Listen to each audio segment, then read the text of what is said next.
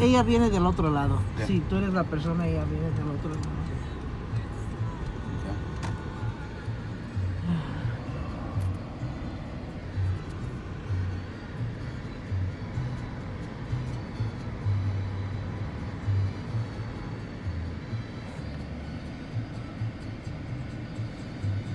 Se lava las manos, tiene todo ahí. No, sí, es que...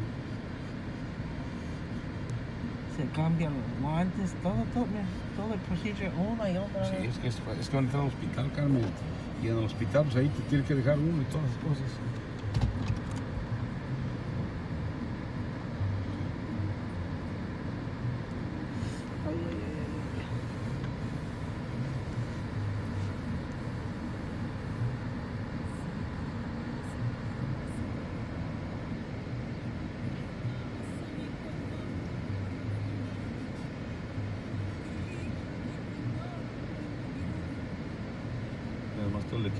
Tiene arriba de aire acondicionado y tanto chido esto.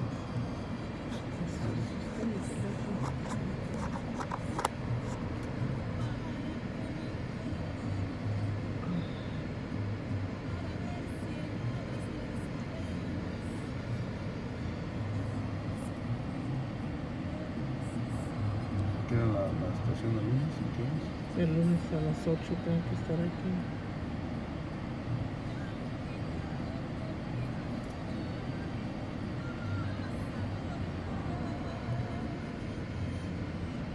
¿Y cómo la Alexa no. La Alexa no está. Ya. Sí que las alergias está mejor.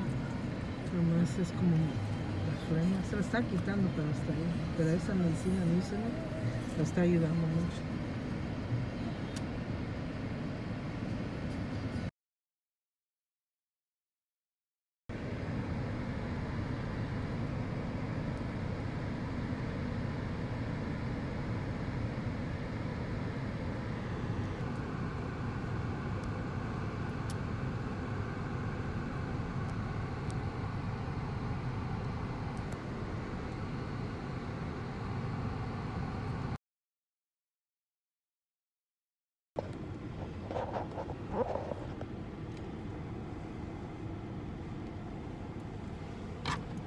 Gracias.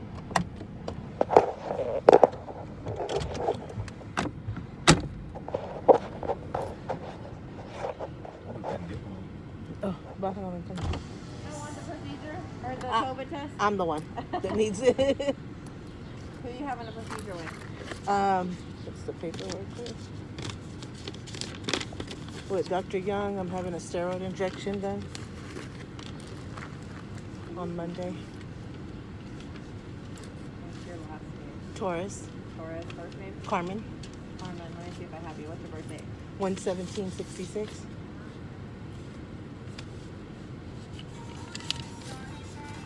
Para los vecinos.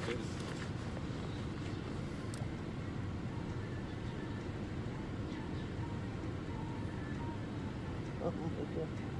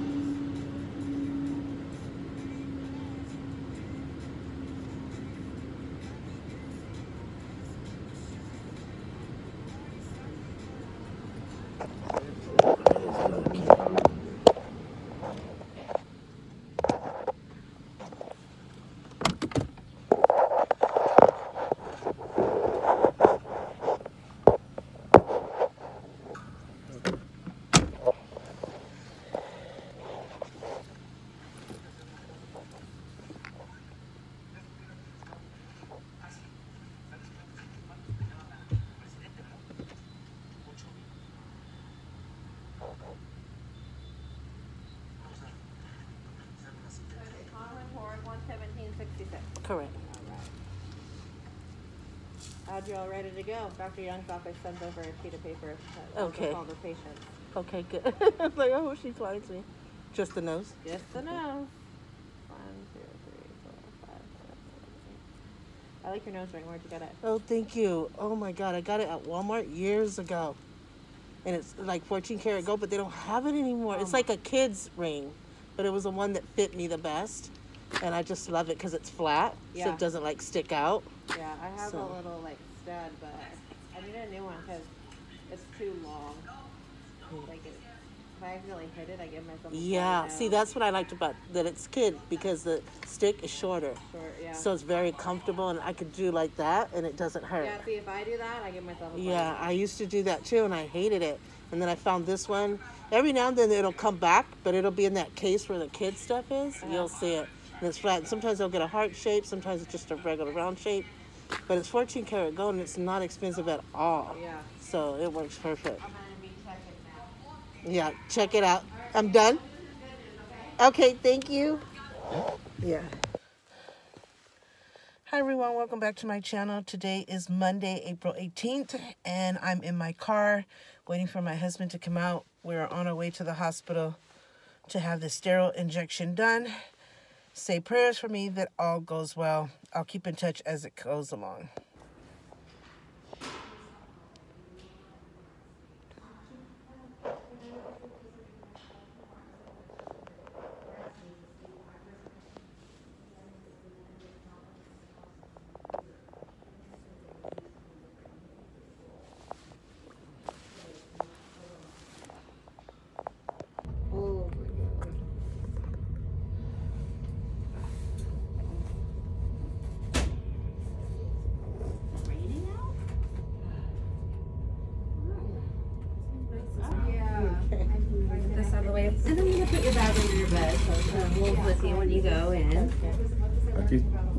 Bolsa está. Oh, Aquí lo voy a está. poner debajo de la cama. Ok, aquí, aquí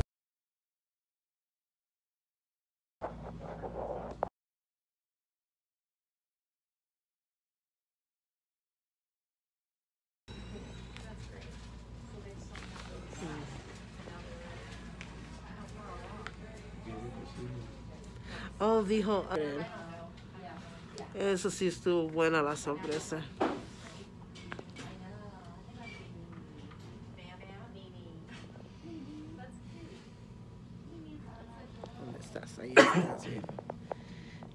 Support system. Uy.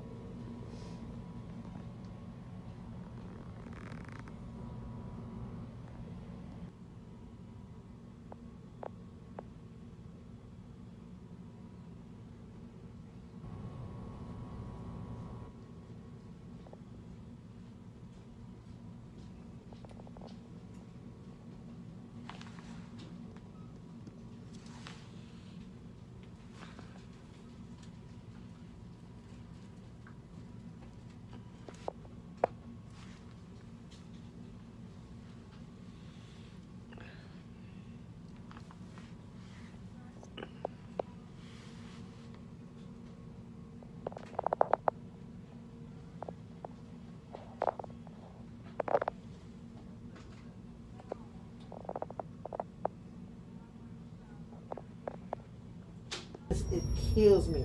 It like takes me two steps back, kind of. I see. And so the only place that I can be is a recliner, but I'm Yeah. tired. I'm tired of the recliner. Yeah. It's never been my favorite chair. I mean, it's his favorite chair. yeah. Yeah. but and then having that that's the only place I could be and Uh-huh. I mean I'm still having so much pain there, but Correct. it's like the only space that I can like try to get through the night. Uh-huh. But it's it's the once we do this.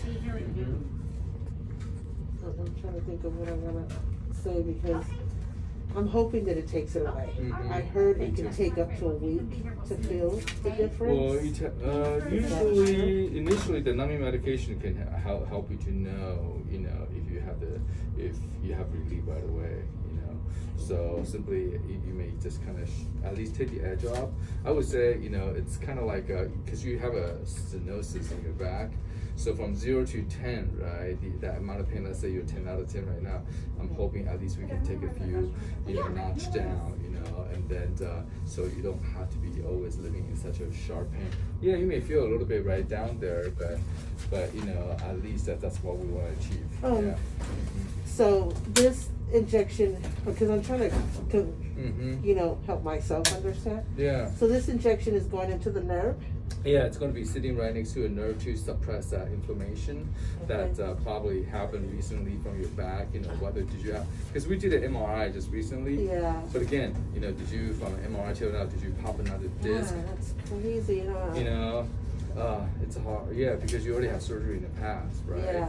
So. But you it, know, but this disc is different from the surgery one, Correct, right? It's exactly, a different area. Because we were concerned about that, Correct. if it was gonna be the same, Yeah. what mhm. could you more do to that Exactly. area? Yeah. Because from my understanding, it's the disc and then he shaved, Yeah. most of it just left enough to hold the spine up. exactly. And every time I have an MRI, they say it's intact, that Yeah. surgery was done really, really good. mhm. But, so But what happens that over different. time, because they he took out the disc, Mm. so now that part's weak, so it's vulnerable, right? Mm, So now upper part is going to take more pressure on the upper part, and then that's what's going on with you L four, L 5 Mhm. and then. I mean, I, not to mean to scare you, it's not going to be as simple. You know, in the future, once you have the surgery, in the future, it's not going to be the same. Oh, we just take out this. You probably need a fusion. So which So what's the infusion mean? Uh, that means that they probably have to stabilize the whole entire back. You know, put screws in it. Yeah. Screws and like Yeah. rods and Mhm. stuff. So, Is, is the surgery like a long surgery? Like a, uh, it's okay. Probably a few hours. Yeah. Yeah. But you need to have a good surgeon. and that would probably happen if this doesn't work. Correct. Correct. Yeah. So, so we'll see. But So if this goes in the nerve, this should calm the inflammation. Right. That's what we're trying From to what's achieve. creating all this Yep. pain, Mm-hmm. and I could kind of be back to normal. I mean, I'm not gonna do the stuff that I used to do. Right. I am gonna definitely modify Yeah. my life because I don't Mhm. want to go through this again. Right. right. and I'm so angry. That's why I'm so I'm so angry at myself that I kept pushing Mhm, and mhm. pushing because I'm so I've always been clean. Like Mhm. since I was little, my mother used to say, "Oh my God!" Like. I always was extremely clean, extremely organized, and then I have OCD now, and that magnified it. Mhm. So it's like sometimes I'll clean the same thing three times just to Yeah. make sure it's super duper clean. And you had warned me, you know, you gotta be careful, gotta be careful, and I just kept pushing. Mhm. And I'm up Yeah. to three o'clock in the morning Mhm. cleaning, and so I'm Yeah. angry Mhm. at myself Yeah. that because I didn't listen and I kept pushing, that I put myself in this position. Because I don't wish this upon my worst enemy. Yeah. This is, absolutely. I mean, yeah. 2019 I was bedridden, and Mhm. that was something so scary and so Yeah. awful. Mhm. But this is right up there Yep. with it. And then I didn't have you at that time, so Mhm. I thought, what Yeah. the heck is going on? So I'm hoping that with this injection, it'll like. Yeah. So it's like the disc is sitting on the nerve, huh? Right, exactly. It's just Causing that that pain. space is very small right now. It's a moderate so- to severe stenosis. So this kind of just like numbs the pain. Will I have to have another one of these done? Uh, we'll see. Usually, we'll see how he responds. Yeah, we'll see how he responds first. Yeah, you and then just uh, yeah, and then just follow up and then plan out the next step. See how that goes.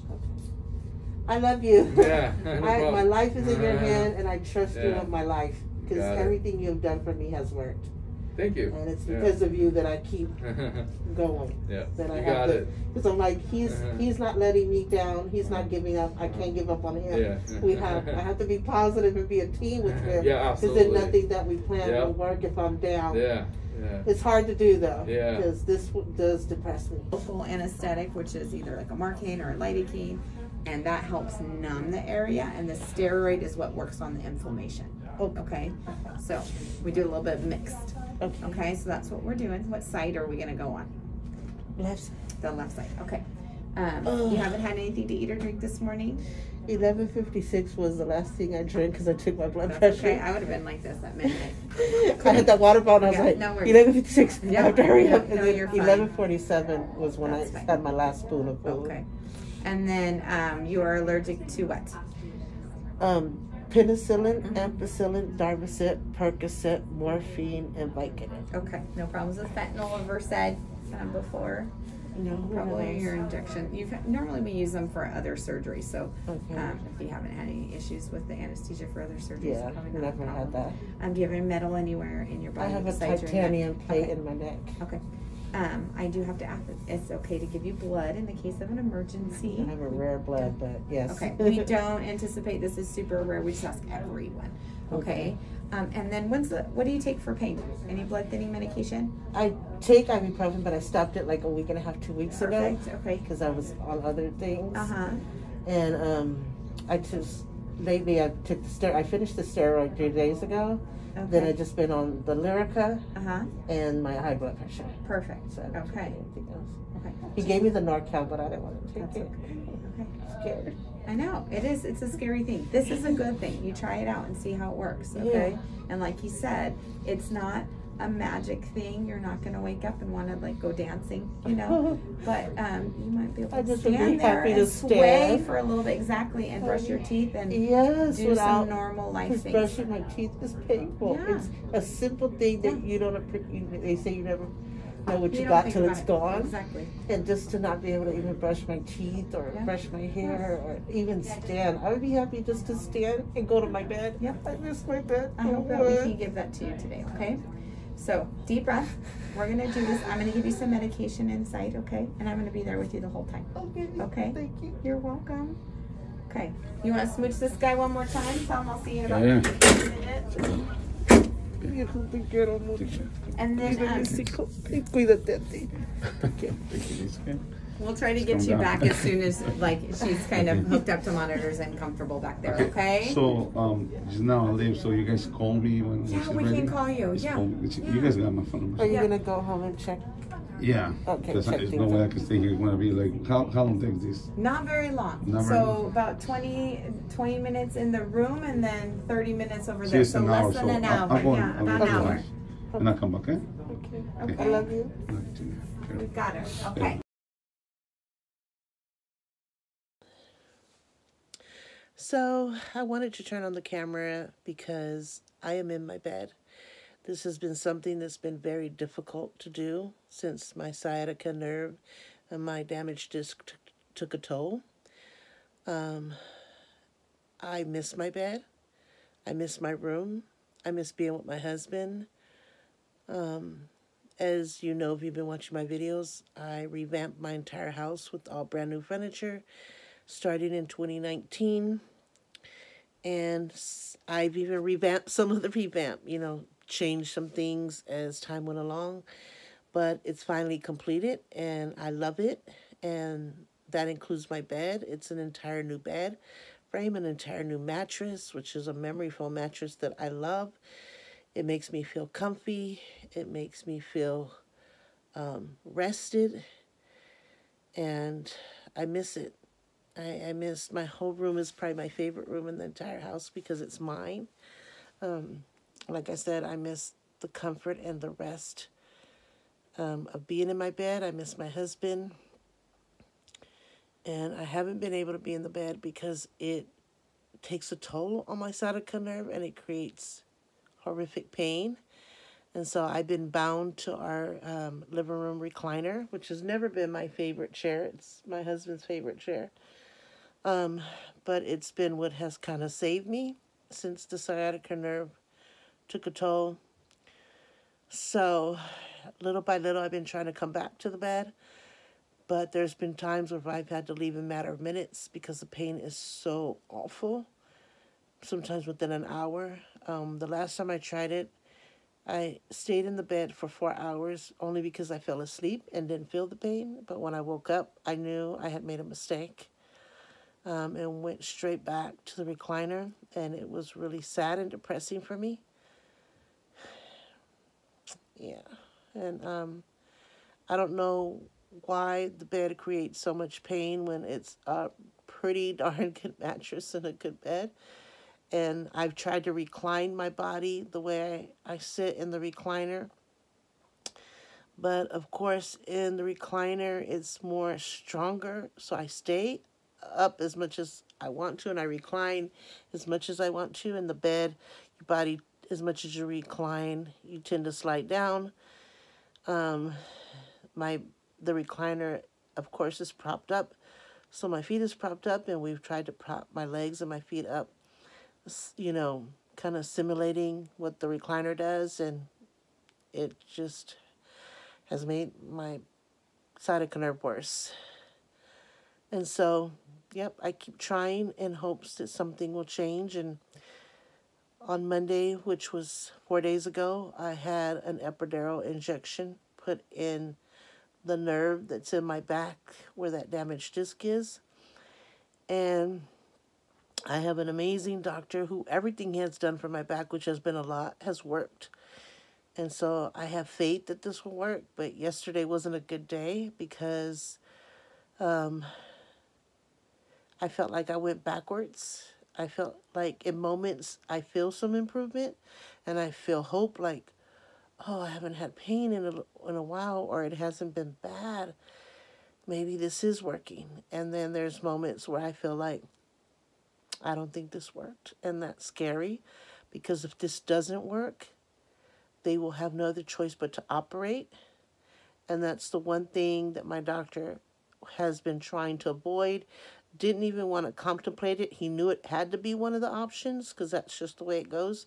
But he said there were so many things he could do before we get to that point, and he didn't recommend it because it's a dangerous, dangerous surgery. Anytime you operate on the back, it's dangerous.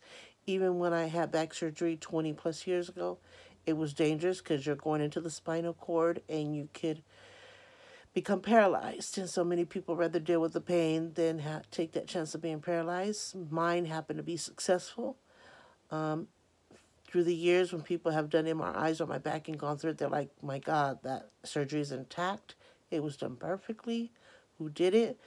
Um, so that's good news. And the good news is the disc that's damaged is not that same disc. Um, because otherwise, what could they have done? That would to go into that same disc that is pretty much not there. There's a piece left to hold the spine up, but it's pretty much not there. Um, so the doctor has like, you know, if you were in your 70s, I'd say let's do it. But the chances, uh, because I would say the chances of it coming back, you would probably be dead before it happens. But you're only in your 50s, so through the years, as you just saw now, 20 plus years later, another disc is damaged, and that's pretty much what's going to happen if you're still alive in the next 20 years. And he said, the, not only do you have that danger of being paralyzed, but you have the dangers of being under anesthesia and in the operating room so many hours because they would have to go through the front. It's a big old opening of a surgery, and then they have to and you're doing that for a few hours and then they have to flip you over and be another few hours going through the back in which they would put in rods lots of rods and screws to stabilize the back. But and i knew he was trying to avoid it and it wasn't a chance that he or i were willing to take. Um, so we were looking forward to all the other options that we had and so when I went to have the injection done, you know, he comes in and speaks to you and that reminds you what he's going to do and the pros and cons and stuff. And he finally said, if this doesn't work, we're going to have to operate. And it was a rude awakening because we had said we weren't willing to take that chance and we didn't even want to contemplate it. And I think I could see a fear in his face, like, this is really bad, but I had already had so much on my mind emotionally, mentally, and physically that I don't think he wanted to put another weight on my shoulder, but I could tell he was holding something back. And he finally said, You know, if this doesn't work, we'll have to operate. And I'm scared. And I'm sure he's scared, even though he's an amazing doctor and everything he does has worked and he's the best of the best. But, and I know it says that it takes one to three days for this epidural to kick in. Um, I'm on my fourth day and things are still the same, which every certain moment it seems to be subsiding, but I'm still in the same situation where I can't walk or stand on my own without a walker. Um, as you know, I've been having a hard time getting to be in my bed. Um, I have to shower with the stool inside the shower, um, like a seat inside the shower. I definitely can't clean or do any of that. I can't do anything. I really can't. I can't make my own food, even if something as simple as a sandwich. Um, I'm on medication. Um, but then there are cases where it takes one to two weeks to kick in. And I feel like that's my luck. I'm going to be the odd person that it takes one to two weeks to kick in. But I have a post op appointment, which is May 4th. And if I'm not better by then, then I know the reality is surgery is the next step. And I just want my life back. You know, always been appreciative of what I have, who I am. You know, I've enjoyed everything to the max, you know, because I'm so humble in that sense. And I'm so grateful that me and my family are in a, in a good space where we make good money and you know we have good jobs i have an amazing job where i work for the state but i'm able to work from home and um, even before the pandemic i worked from home so and i'm able to be with my autistic son and my husband makes good money and my children thank god and we're in a good space um, we have gone through a lot through the years where we've had nothing and then we've had a lot and then we've had everything. And it just depends on what, what is happening in that point in your life. And now we're good and we um, plan to stay that way because everything